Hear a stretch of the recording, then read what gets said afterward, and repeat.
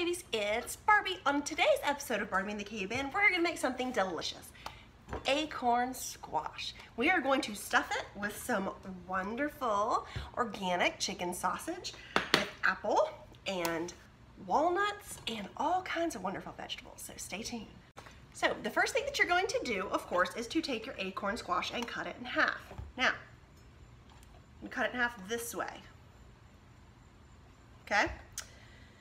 Now, really you can cut it either way you want. Let's cut it the other way, just for something new. Now, an acorn squash is a tough thing to cut. So you want to really make sure you got your, woo, your knife aligned, get your fingers out of the way and split away. Now, these seeds are going in the garden because my fall garden this year will feature all different kinds of squashes and pumpkins. So I'm very excited to, of course, get these started. So then I'm going to take a spoon, hollow out the insides, and I'll show you what to do next.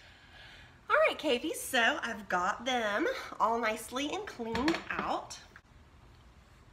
Now I'm going to put a little bit of ghee in each of the sides, just about a teaspoon, just to give it a little bit of fat and liquid to cook.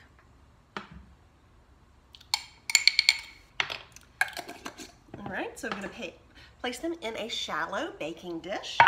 And I'm gonna use a little bit of Himalayan sea salt just to kind of crack over the top of each. And then a little bit of olive oil just to go around the top layer.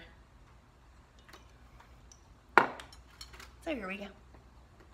See? Now, I'm gonna pop it in a 450 preheated oven for about 40 minutes, right, till it gets really nice and soft and bubbly. You wanna make sure that it's fork tender.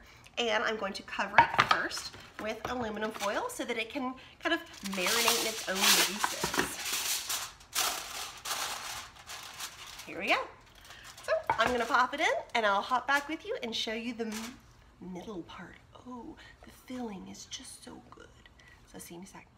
All right, Katie, so the next thing that we're going to do is create the filling for the acorn squash. It's gonna be amazing. First, we're gonna start off with six links of this organic, free range chicken sausage. And it has like apple and maple syrup in it. It's really low carb, but it's really very delicious. Let me tell you, the egg can't get enough of it. He eats three or four every morning with a scrambled egg and a little bowl of fruit. It's crazy. So they're really, really great. Now we're also going to use some walnuts. So I have a little pizza plate and I'm just gonna pour them out here on the pizza plate and spread them out. I'm gonna take some cooking spray, spray over the top, a little bit of salt, just a little bit just to cover them. I'm gonna give them a good shake. I'm gonna pop them in the oven too. Now, of course, the um, acorn squash are roasting, but I'm gonna pop it up on broil just to kind of toast the um, walnuts and allow the, the squash to continue to bake. So I'm gonna do that and then I'll hop back with you and walk you through the next steps. All right guys, so that's in the oven. So I have my little bowl and I am ready to, ooh, squeeze one quarter of a lemon over the sausage. Give it a good shake, set it to the side. And I have some just yellow onions. I'm going to just nip off the end of some of the onions, gentle tenders, tendrils, some of the gentle tendrils of the oven. And I'm going to chop them very smallly. All right, I'm going to use one shallot. So, of course, one shallot. Of course, I'm saving all the extras and the byproducts for the broth, the vegetable broth that I make. All these things add wonderful flavor. It's fantastic. Its little skin off. You hardly get it. Uh-oh.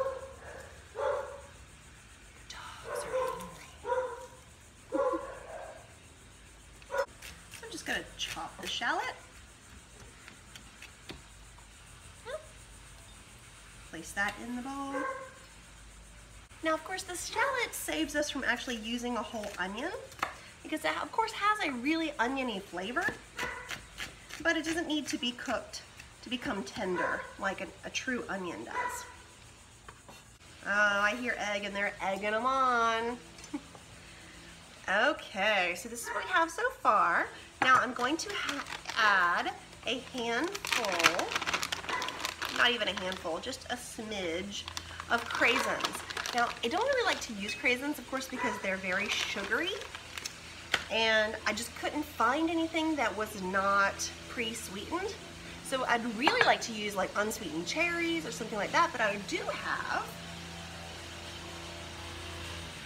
some dried plums. And so I'm gonna augment that with some dried plums. Oh my goodness, I may have to go and see what is going on. So I have four dried plums that I'm just going to cut in half and then of course chunk into very small pieces. So now I'm, I'm chopping the plums very, very finely because of course the um, plums have another name. They've been renamed plums, dried plums, but my mother and my grandmother has always called them prunes. And so we know what that does to you. So be very careful with how much you add or you and your guests may be fighting over certain accommodations in your home. Here we go so far.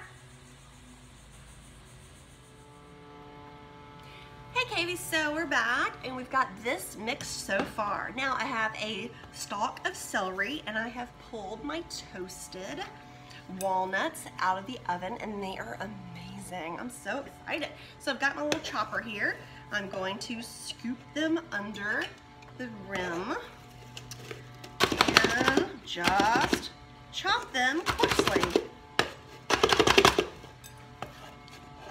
Knock it into the little bowl, layer it in. I'm very excited, just layering it in. And then the celery I'm going to have,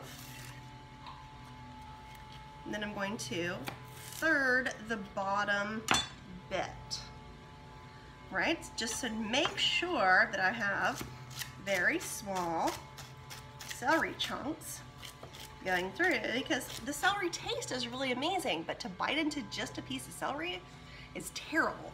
Well, to me, those of you that eat raw celery, more power to you. I can't do it. And here we go. So we're just going to mix it with our hands to turn it to combined which is perfect, of course.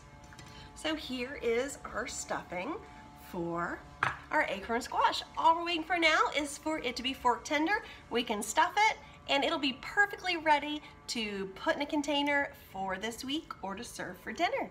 Your choice. All right, well, I will see you in a bit when the squash is. We got the acorn squash out of the oven. Going to grab one hold it in my hand and add the stuffing.